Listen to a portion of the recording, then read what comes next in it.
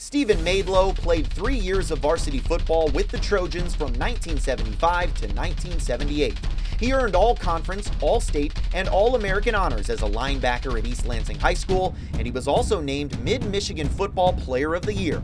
In addition to football, Stephen also ran four seasons of track and took home a district championship in wrestling. The first thing that comes to mind is great physical talent, and then his ability to cover the field defensively. I mean, as a linebacker, he he was extremely fast.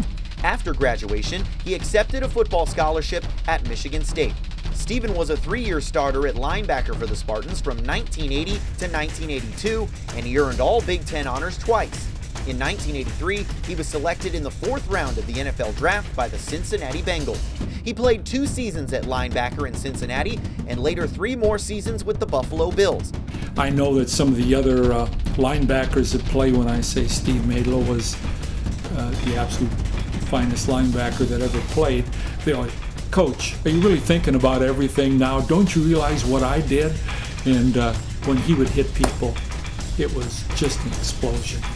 And uh, just fun kid to watch play.